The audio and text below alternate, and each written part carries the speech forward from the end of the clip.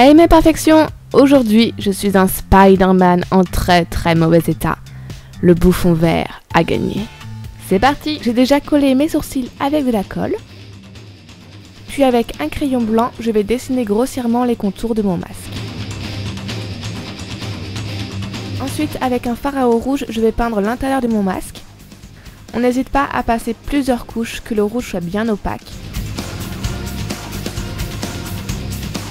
A l'aide d'un fard blanc, on va remplir nos yeux en blanc. J'ai pris un pinceau pour que les poils de mes sourcils soient bien imprégnés dans la peinture. On va passer maintenant à la toile d'araignée. Donc avec un fard gras noir, je vais dessiner grossièrement ma toile sur mon visage.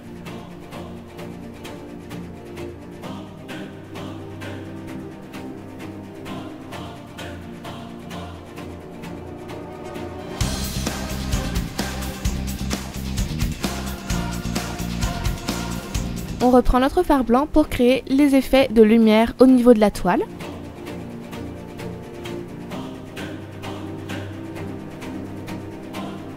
Et avec un fard à paupières noir, on va créer les effets d'ombre au niveau de la base du masque et sur la toile.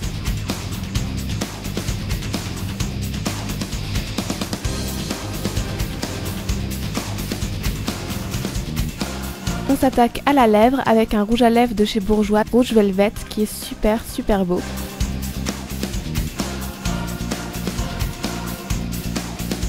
Et j'ai tout d'abord mis ma lentille blanche, donc elles viennent de chez Opticea et avec elles on ne voit rien, c'est pour ça que j'en ai mis sur un seul de mes yeux.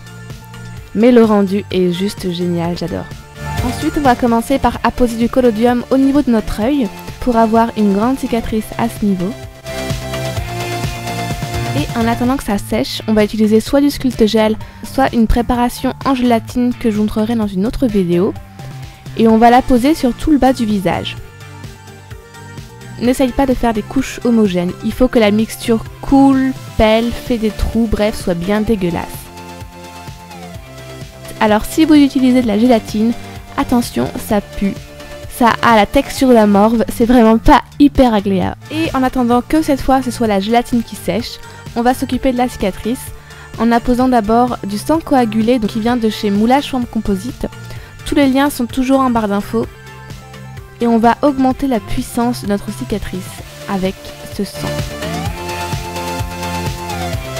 Une fois la gélatine bien sèche, je vais y faire des trous avec un objet un peu pointu qui va me permettre de donner l'illusion d'une peau arrachée par endroits et creusée par l'acide. Poudre le tout car comme vous le voyez c'est plutôt luisant donc on va essayer de donner l'aspect peau, quelque chose qui brille un peu moins. Quoique, vous pourriez laisser pour donner l'impression d'une peau en putréfaction qui suinte du pu. Donc avec une éponge et un tout petit peu de fard rouge, on va colorer l'ensemble. Et on va mettre du rouge à l'intérieur de nos trous creusés préalablement. Je vais mettre un petit peu de noir partout pour donner l'illusion toujours de brûlure et de salissure. et on continue l'aspect réaliste avec du sang coagulé au niveau de mes plaies. Bien sûr que ce serait un maquillage FX sans faux sang, là j'ai voulu en mettre au niveau du nez, de la narine, et augmenter la fraîcheur de ma cicatrice. Ensuite j'ai utilisé des cachets effervescents, donc ici de l'efferalgan, que j'ai mis dans un petit récipient et que j'ai bien écrasé pour avoir vraiment de la poudre très fine. Avec l'élégance d'une princesse, j'en mets un peu partout sur ma brûlure. Il faut vraiment que les feralgans soient en petite poudre pour donner cette petite mousse qui donne l'impression d'une peau brûlée à l'acide. Et voilà le résultat Et oui, je me suis un peu amusée toute seule à m'en rajouter encore et encore. C'était super marrant. J'espère que ce make-up t'a plu. N'hésite pas à t'abonner, à liker et surtout à partager. Et je te fais des gros bisous. Bye Ouh là là Pikachu me fait des frayeurs. Et qui est-il C'est... Mon chéri qui me voit message. Oh, je suis contente.